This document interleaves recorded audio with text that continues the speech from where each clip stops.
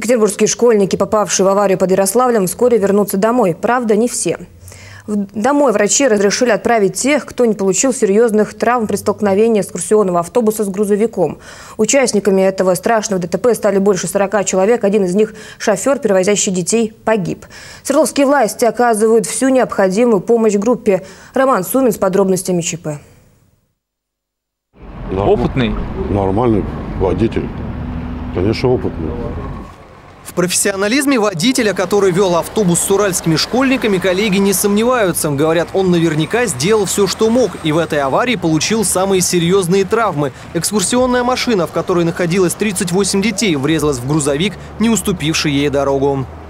Автомобиль грузовой Хова выехал э, со, со второстепенной с прилегающей территории, со строящейся заправки. Впоследствии, как я уже сказал, произошло попутное столкновение с автобусом, который перевозил группу детей. Э, это группа школьников из города Екатеринбург. Все случилось накануне вечером на трассе под Ярославлем. Четыре десятка подростков, учащиеся трех школ Екатеринбурга, путешествовали по Золотому кольцу. Внезапно у них на пути оказался нерасторопный грузовик. Перед столкновением водитель автобуса успел предупредить пассажиров, и те были готовы к удару. Успели сгруппироваться. Проснулся за несколько минут до аварии, услышал э, голос водителя, понял, что мы тормозим. Затем я увидел в лобовое стекло, что на нашу полосу выехал грузовой автомобиль. После этого при торможении автобус врезался в автомобиль. А наша авария, я считаю, что нам очень повезло. Всех пострадавших срочно доставили в больницу. Операция потребовалась только водителю, который, по сути, принял удар на себя. У него сломанное бедро, голень, таз и поврежден мозг. Сейчас э, оценивать состояние водителя сложно, потому что он находится на операции.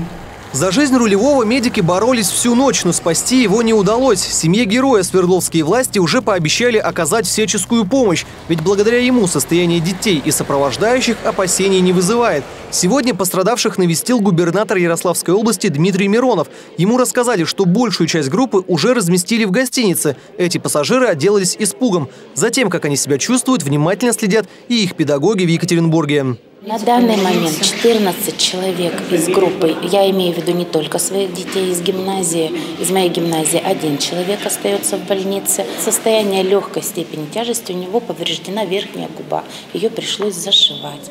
Что касается родителей, то в Ярославль за детьми решили отправиться единицы. Те, у кого чада еще находятся в больнице. Депутат Дмитрий Головин, чья дочка тоже путешествует по Золотому кольцу, рассказывает, что регулярно с ней созванивается. По словам девушки, подростки не теряют оптимизма.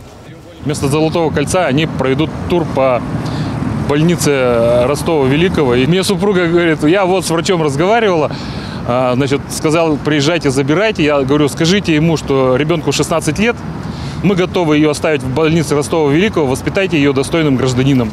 Большинство школьников уже завтра должны вернуться домой. Руководители группы решили прервать путешествие, которое обернулось уголовным делом. Его главный фигурант – водитель, чья неосторожность, возможно, привела к гибели человека. Его допрашивают следователи. Мужчине грозит лишение свободы.